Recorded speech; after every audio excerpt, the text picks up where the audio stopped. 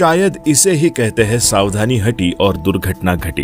Video पसंद आए तो चैनल को सब्सक्राइब ज़रूर करिएगा। खतरों के खिलाड़ी बनने के शौक ने इनको मुसीबत में डाल दिया। बारिश में भीगते हुए अपने बाइक से कर रहे थे स्टंट। स्टंट करते वक्त बैलेंस बिगड़ा, पड़ोसी के घर में अपनी बाइक ठोक दी। वीडियो सोशल मीडिया पर काफ़ी तेज़ी से वायरल हो रहा है। इस वीडियो में आप देख रहे हैं कि ये लड़का बारिश में भीग कर किस तरह स्टंट कर रहा है। और पड़ोसी के दीवार में जाकर अपनी बाइक ठोक देता है, जिससे पड़ोसी का तो नुकसान होता ही है और इनके बाइक का भी काफ़ी भारी नुकसान होता है। वीडियो को ज़्यादा से ज़्यादा शेयर करें, जिससे लोग स्टंट करने के लिए सतर्क हो जाए।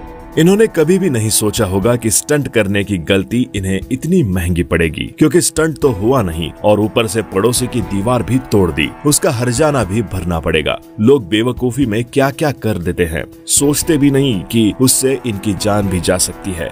ऐसे स्टंट बिना किसी प्रोफेशनल की मौजूदगी के नहीं करना चाहिए, क्योंकि आपके लिए काफ़ी मुसीबत पैदा कर सकती है। वीडियो पसंद आई हो तो वीडियो को लाइक करे फेसबुक और व्हाट्सएप पर इस वीडियो को ज़्यादा ऐसी ज़्यादा शेयर करे। हमारे चैनल को सब्सक्राइब कर ले। मिलते हैं आपसे नेक्स्ट वीडियो में। तब तक के लिए नमस्कार।